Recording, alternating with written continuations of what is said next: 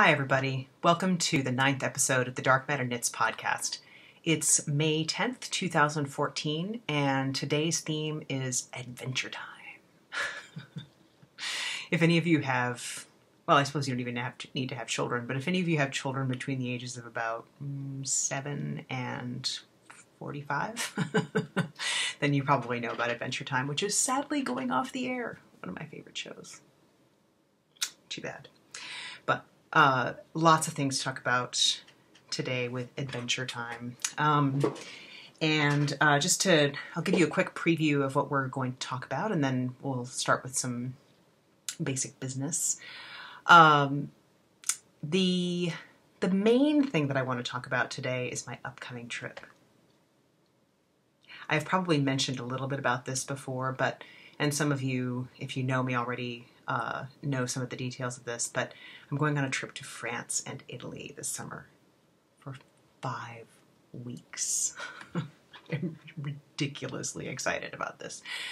So um, I'm going to talk about what I'm going to take with me on my trip and what I'm planning to do while I'm there. Um, I'm also going to uh, talk a little bit about. Um, well, I mean, really, that's going to be the whole the whole focus of the episode. Uh, I have a lot of little businessy things to show you and some knitting to show you, and uh, some things to catch you up on.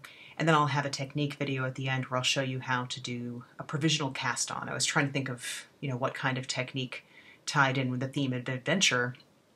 And uh, there are quite a few things, but I thought a provisional, my favorite way of doing a provisional cast on might be a good thing to show you because uh, provisional cast on is kind of like an invitation to adventure, broadly construed.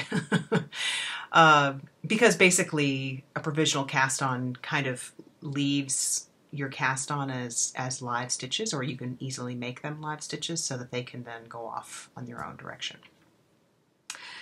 So I'm going to keep things fairly short today. I'm, I'm going to try to go back to the 20 to 25 minute ish episode that I, you know, originally intended to be doing when I first started this podcast. So, first, a few pieces of business. Uh, first of all, thank you so much to the many of you who contacted me after the last episode, either to, um, you know, just express your concern or to wish me well or to uh, share your own experiences with uh, difficult mammograms, whether they you know came out well or not. And it was very encouraging and and really kind of you to uh, to reach out to me. And I just wanted to let you know briefly. I don't want to belabor this anymore, but um, you know a lot of you did want to want an update, so I've uh, really, nothing new has happened. I've I've just uh, my doctor wants me to see a radiologist that she works with to look over the results before I do anything else. So um, I'm not really that concerned about it anymore, um, and you know I just don't know anything yet. So that's that. I have a lot of um, thank yous to give. apparently, uh, when you look at your iTunes reviews for podcasts, there's this little button at the bottom that says more reviews that I have consistently been blind to. so apparently there are quite a number of you who have left reviews that I have just not even not even seen before. So uh, I have quite a list today of people to thank. Um, so these are people who have left reviews on iTunes about my podcast, and uh, and I really appreciate your kind words. Um, Venus Code, His Handmade, Strid 8, uh, my fellow podcaster, Downseller Studio Jen, Lucia Knits, Lori 7711, Mary Shue, Nagy Knitter, U Creek Cottage, and Zombie 312. I told you there were a lot. I was so embarrassed when I clicked on the button and I, I was like, ooh, look, there's more. And then I saw down at the bottom that it said more reviews and I clicked it again and then I there said there were more and I clicked it again. I was born before the age of the internet, okay? I remember being in elementary school and being taken on a field trip to go visit a computer that was the size of a building and had punch cards. I am not I, I am a I'm a tourist in the land of the internet but I try. Speaking of which, there is uh, an app. There's an app for everything, and now there is an app for something else. But this is a really cool one, and I wanted to tell you it has nothing to do with knitting, although you certainly could apply it to knitting context. But it is really cool. My brother-in-law told me about it, and uh, and I wanted to tell you because it is incredibly fun to play with. Uh, it's called Adobe Voice, so it's put out by the same company that does um, probably the one that you are most familiar with if you don't do design is uh, Acrobat, the reader, PDF reader. Uh, they also do Photoshop, and uh, that's probably the other most familiar one. Um, Illustrator, uh, InDesign, a lot of a lot of um, software for artists and designers. So usually their software is incredibly expensive. Ask me how I know, but uh, they have just put out a free app called Adobe Voice, which is uh, I know it's available for iPads. I am uncertain as to whether it is available on other platforms. Sorry, should have checked that. But what it does is, um, it's a little hard to describe, but if you've ever seen uh, a lot of commercials are like this, uh, a lot of commercials on the web, especially, they're these um, kind of icon heavy um, little animated things where somebody is talking in the background.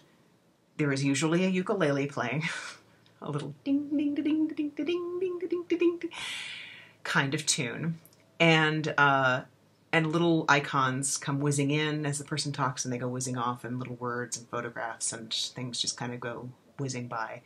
You know what I'm talking about? Well, this app allows you to create those, and uh, and I thought, what a cool.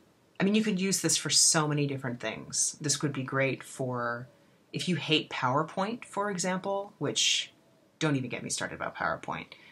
Uh, there's a whole series of books about how PowerPoint destroys the structure of arguments and is graphically the most pathetic piece of software ever created.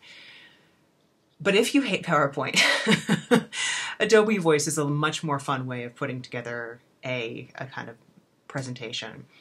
And um, and you could use it uh, to create, you know, little promo things on YouTube. I was thinking I have a book coming out not not too far in the future, hopefully, and um, and I'm thinking about doing like a little book promo video on there. It's it's a lot of fun to play with, and it's it's the interface is so simple that my nine year old immediately picked it up, like immediately figured out how to use it. I know nine year olds are better at these things than anybody else, right? But still, it's uh, I was able to use it too. so there's that. Uh, another little bit of business that I wanted to share with you is that uh, this shawl that you see here, uh, my Summer in Angers shawl, uh, which I, I showed you my knitted sample last time. This is actually my mom's that she kindly mailed to me.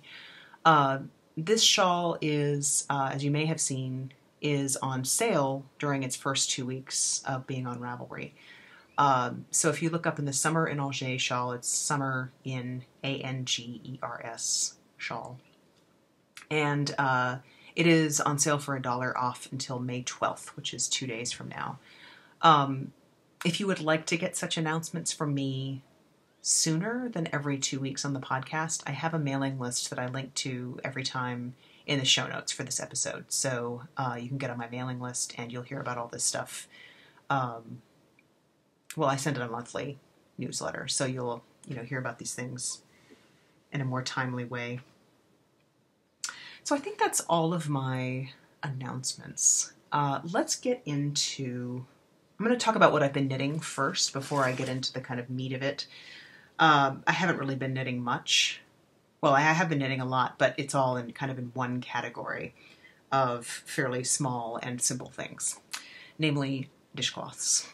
I'm, I'm i think my anxiety is still kind of lingering because um, dishcloths are not something I normally knit, but for some reason I just suddenly had a hankering to knit washcloths. Uh, so, as I've mentioned, I work for Cooperative Press, and there is a series of books that we put out called, well, the author is Deb Buckingham, and they all have Dishcloth Diva in the title. This is her second book, Dishcloth Diva, and it's on. And um, so I knit a few dishcloths out of here. Actually, the first thing I did was I knit, a crocheted a few dishcloths because my son, um, it's Teacher Appreciation Week, so I've been doing some for them. So I did a couple of flower shaped uh, washcloths for a couple of his teachers, and then I've been making a few more to um, to give to other teachers. So there's this one, which is probably the simplest in the book. So it's great, uh, you know, great TV knitting. It's called Olive and I'll show you the picture in the book that is olive.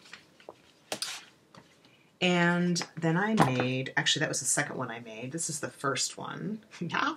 Isn't that cool? This one was really fun to knit. Uh, do make sure to check out, check the errata page on Ravelry because um, we worked out that there was a mistake in this, but um, that is Lucille Bell. Wahaha. And then I am currently knitting the pattern in the book that is called Elizabeth. Suitably enough. Has a very cool sort of nautical look. Um, and one of the things that the the book does that I like is um, she talks about how you can, um, you know, that up, you would typically work up a dishcloth in cotton, but um, she has a whole section in the back about uh, working up these squares in wool and putting them together into charity blankets and where you might send them and how you might do it as a community project. And uh, it's a nice, nice adjunct to the book. Uh, I have been knitting all of these in Knit Picks Dishy so this is my, oh no, it's not my first time knitting with this, but I really like it. It's a um, somewhat more souped up version of dishcloth cotton. Um, I think a little nicer than than the, the kinds that you can find in the typical craft stores. Um, and the colors are a little more a little more sophisticated. So I've really been enjoying working with that. And I actually have done some spinning this week, which uh, I haven't done in a while. You might have noticed I haven't really mentioned it. Uh, this is what I had been working on the last time I showed you some spinning. This is from the the woolen wooden spinner. Sorry, uh, Mississippi-based fiber producer and dyer, and it's a uh, merino silk combination that she does. These really cool bats that have um, these just blaps, noils of, of silk that run through them. And it, it was a little challenging for me actually to figure out how to manage those because they just kind of, sometimes they just emerge in these giant chunks. I mean, you can see right here, especially, where they, uh, where they really just came out in these giant blaps. And I was trying to get the, the purple, this purplish blue, the wool, to you know, make enough of a, a wrap around it so that the silk just won't, you know, come come tumbling out at some point. And I wasn't always successful at that, so I'm not sure how well those noils are going to hold inside the yarn. Um, hopefully, the the plying process will kind of help seal them in a little bit better. I'm actually going to ply this. This is a two ounce bat, I believe, and then um, I have another two ounce bat that is light green that has uh, noils in similar colors to this. So I think it will look really cool applied together with this. So that is what I've been working on. Haven't really been knitting much this week. I've been doing a lot of, been working a lot. Um,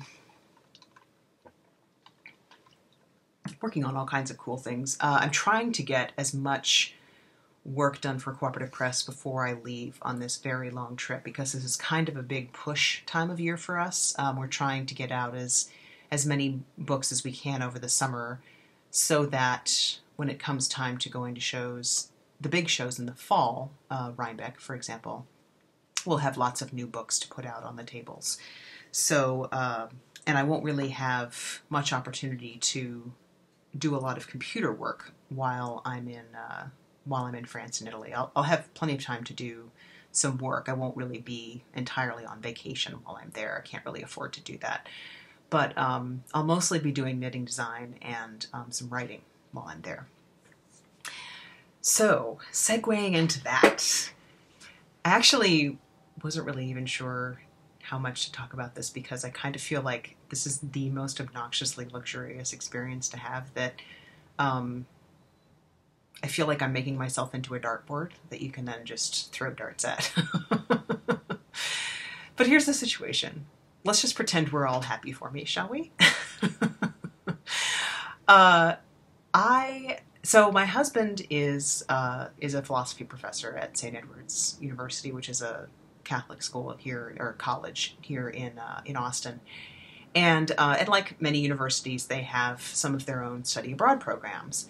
And he applied to teach on one of these study abroad programs and got in for this year. So he is teaching a six week course in um, at the uh, what does UCO stand for? It's I can't remember. I, oh, it must be Université Catholique Occidentale, Catholic University of the West. I know is how it's and it's UCO. It's how it's uh, translated in English.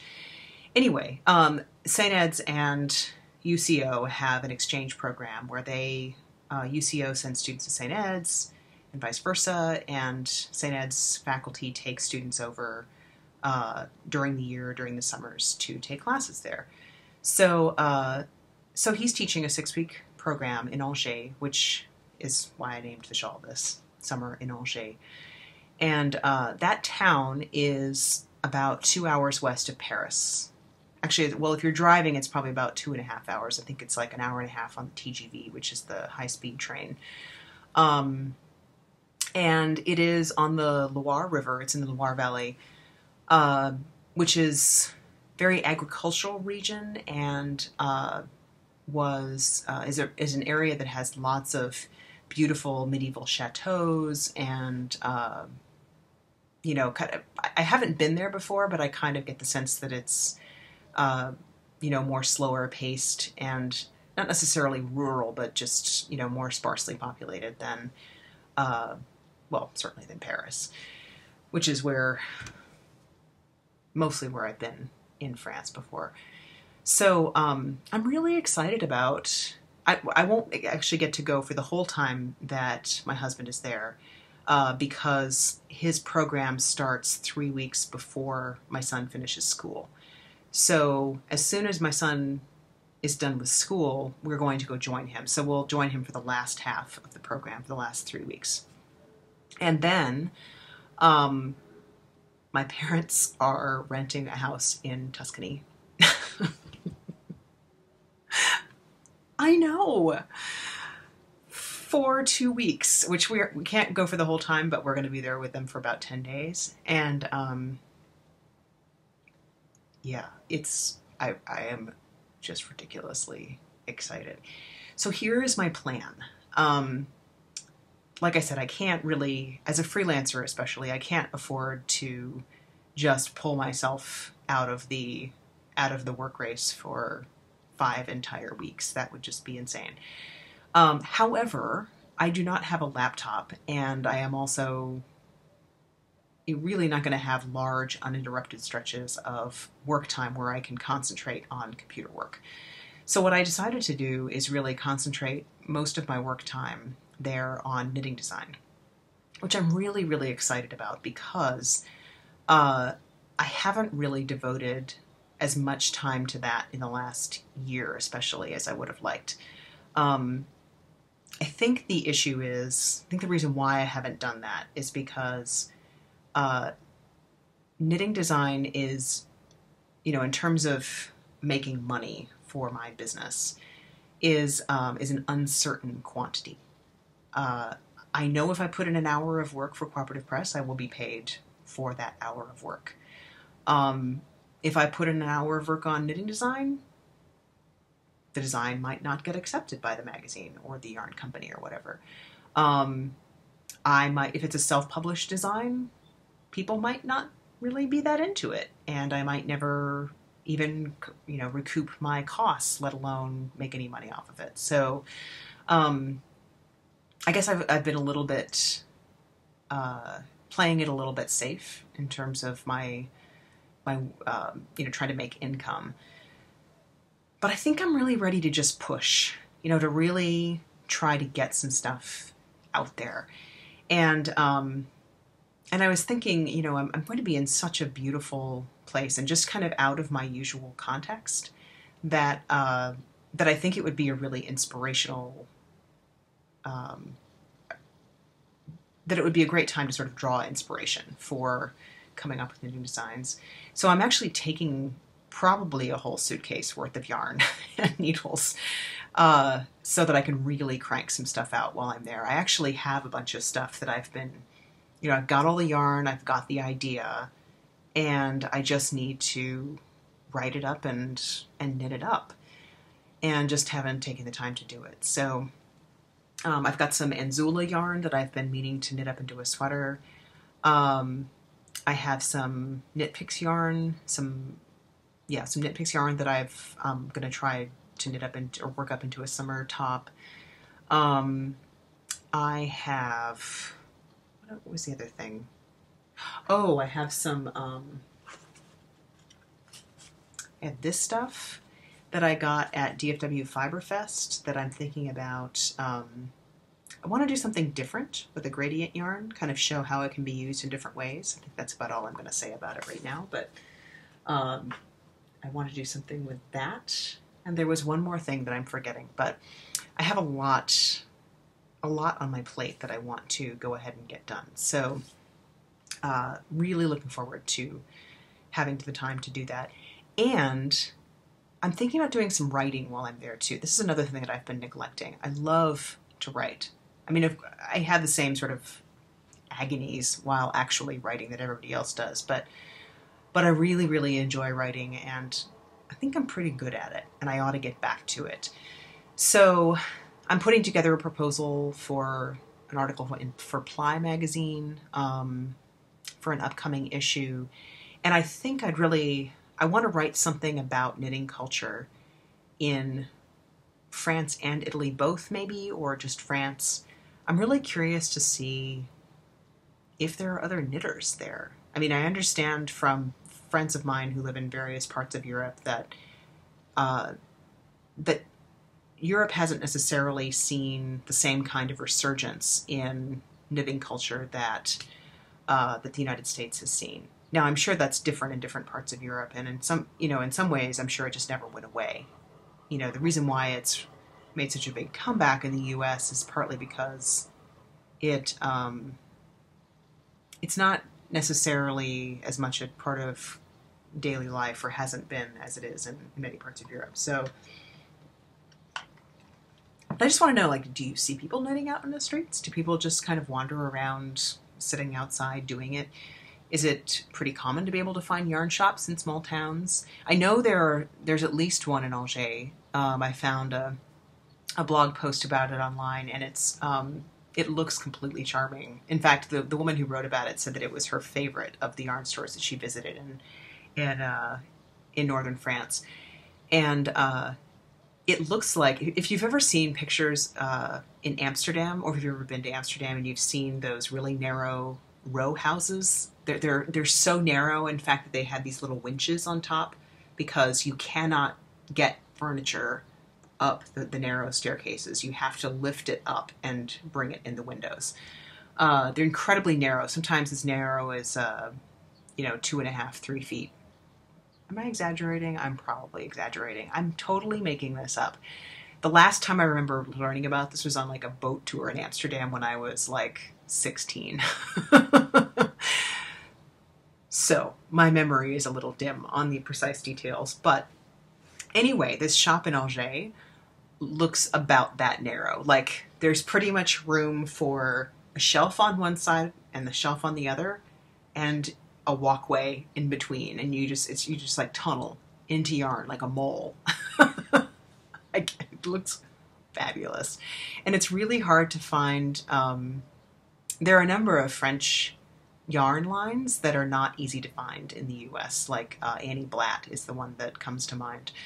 Uh, so I'm really excited about you know seeing what kinds of yarns they're kind of hard to find here. I might be able to find there.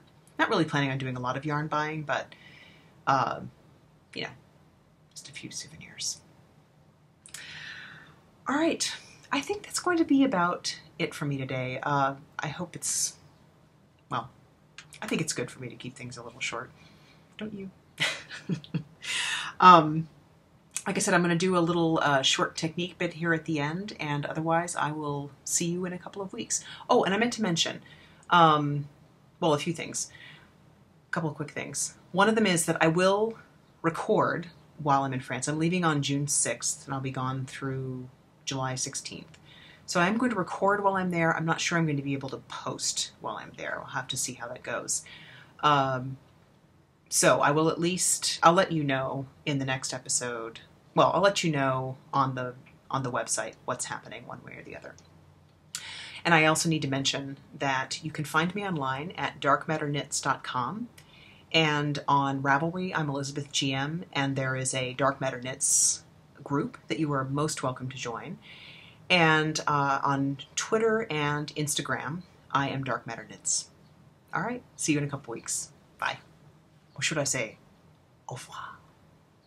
So let's take a look at how to do a provisional cast on, or at least one way of doing it. When you do a provisional cast on, you're going to need some waste yarn. And typically I like to use a cotton yarn that is somewhere around the same weight as the yarn that I'm going to be using for the project. Uh, the reason why you might want to use cotton is because it is it is fairly smooth and it is unlikely to leave uh, fuzzy bits in your project. And I'm going to, you don't necessarily have to do it in a contrasting color to your project yarn, but I'm going to do that just to make things a little easier to see. So the first step in a provisional cast on, or at least the kind that I'm going to show you today, is, and I'm going to do the type where you use a crochet hook. I know, I know, knitters, sometimes you don't like the crochet hooks, but you're going to have to get over your fear or your loathing or whatever it is. Crochet hooks are extremely useful. So we're going to make a crochet chain, which means just, well, here, I started without telling you what I was doing. You're making a slip knot. We all know how to do that from casting on. Put a slip knot onto your crochet hook. I'm just going to hold the yarn in my left hand, hook the yarn around the needle. So you see I just kind of swiveled the yarn around and pull a loop through. This is called doing a chain stitch. You're just making a little chain of stitches. Okay, so I just make a few chains and then I'm actually going to grab my knitting needle, or one of the needles, and I'm going to continue to chain over the needle. So if you see what I'm doing here, I'm actually putting the needle on top of the yarn holding the crochet hook to the right and the yarn to the left. And I'm just going to keep chaining over the needle. Sorry, this is a little awkward to do on camera.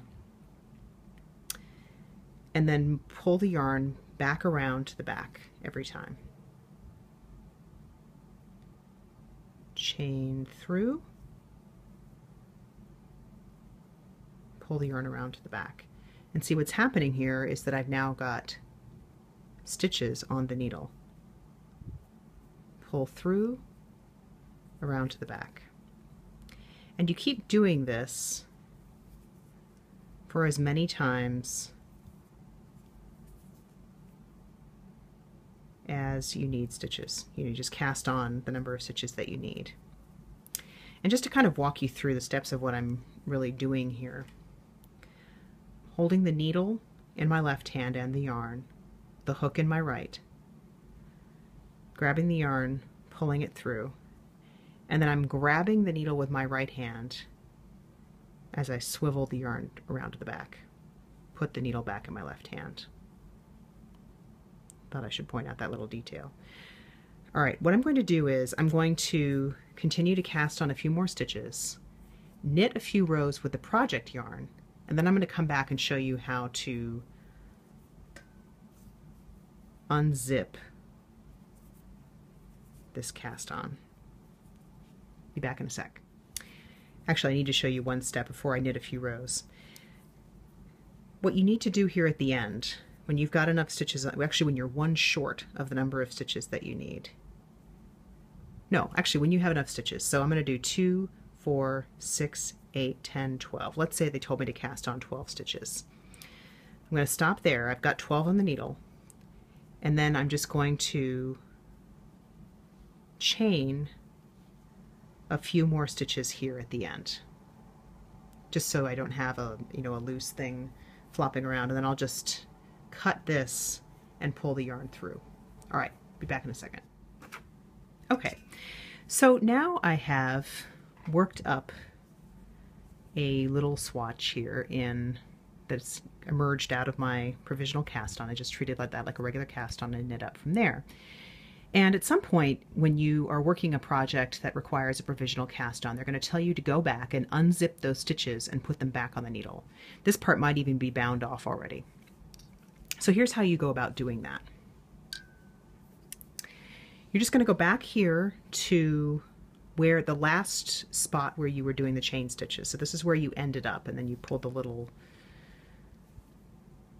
so the last of your chain stitches, you pull the little end through. And I'm going to pull that little end back out so I can start unzipping those stitches. And I just kind of do it carefully a little at a time. And actually normally for this I use a circular needle or maybe a double point if it's short enough um, because that way I can just put these stitches on however I like and I can knit in either direction. But you just keep kind of popping these out carefully a little at a time and you'll see let's see if I can get this into focus a little better you'll see some little stitches live stitches starting to emerge here there we go as you pop these out. In fact, there's one right there. And if you use a different color, you can see them before you even have to pull the pull the yarn out. Give it a pull. And there, there's a little stitch. And if you want, you can even pop one in before you pull provisional cast on out. You just keep doing that all the way across. If you were using a really slippery yarn, you would want to do this very, very carefully. Otherwise, these stitches are going to run everywhere. This is a fairly sticky wool, so I'm not having to be overly meticulous about it. And then there's going to be one last little spot down here that's not really a stitch that you're just going to have to kind of pull the yarn out of. And now you've got stitches that can go off in the other direction. Now one interesting thing you're going to notice is that if you count these stitches, 2, 4, 6, 8, 10, 11, wait a minute, I thought I cast on 12 stitches. You did. The issue is that you're going in a different direction. So when you cast on the stitches, you were casting them on as V's going in this direction. You know, when you're knitting up knitting up this way, your V's are, are right side up, like this, right? You are now picking up the loops that are in between those stitches that you cast on. Which I know might be kind of hard to picture, but if you imagine 12 blocks in a row, there are 11 spaces between them. And you are effectively sort of picking up the loops in the spaces between those stitches that you cast on. So you're going to have one fewer. And uh, your pat different patterns will have different ways of accommodating that. They might just have you add a stitch on the first row to get sort of get back to 12. Um, but that is how you do a provisional cast on and how you unzip the stitches and get them back on.